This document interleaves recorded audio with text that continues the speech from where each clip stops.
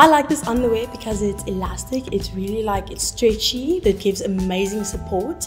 Um, I like how it moves. Like I'm super mobile. I can I don't feel trapped inside it.